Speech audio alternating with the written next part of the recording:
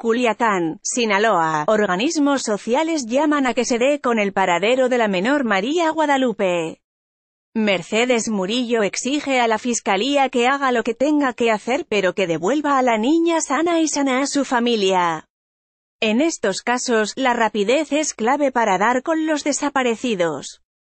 Es por ello que Murillo Moni llama a las autoridades para que no cometan los mismos errores que se cometieron en el caso de Dayana, la menor desaparecida en junio del año pasado en la sindicatura de San Pedro. Por su parte, Óscar Loza Ochoa pide que el personal de la Fiscalía inicie la búsqueda tal como marcan los protocolos que no se pierda tiempo ni se simule una pesquisa como en situaciones anteriores.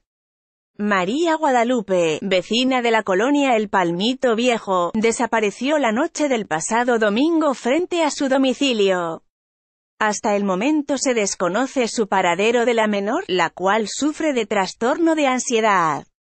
Por tanto, se invita a la ciudadanía a reportar al 911 cualquier información que pueda ayudar a encontrarla. En esta nota, Culiacán María Guadalupe desaparecida.